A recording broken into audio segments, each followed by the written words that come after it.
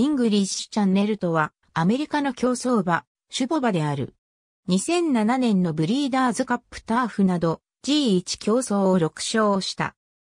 デビュー戦を勝ち上がると、次走4着の後4連勝で、バージニアダービーで重賞初勝利を挙げる。G1 初出走となったセクレタリアトステークスでは一番人気に支持されるも2着、古馬初対戦となった JH ターフクラシック招待もシェイクスピアに頭差及ばず2着と惜敗した。この後ブリーダーズカップターフに出走するも、優勝馬の白っ子から13馬身離された5着と、敗れ、3歳シーズンを終える。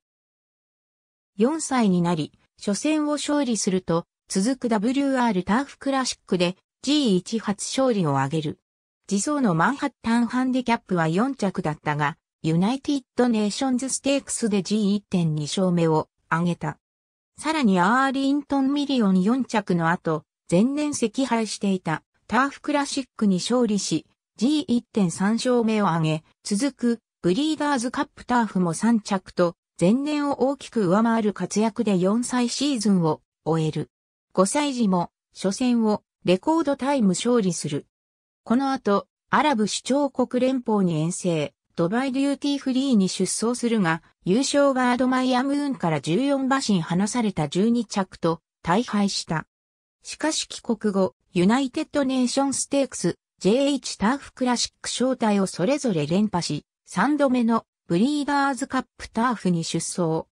7馬審査の圧勝でアメリカ芝路線の頂点に立った。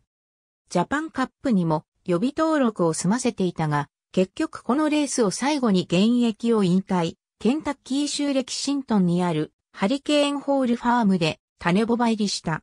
2009年の種付けシーズン後にレンズエンドファームに移動する。サンクは2011年にデビュー。自身と同様に芝での活躍馬を多く出しているが、サンク初の G1 勝利はダートでのものだった。2014年3、2015年3、2016年3。ありがとうございます。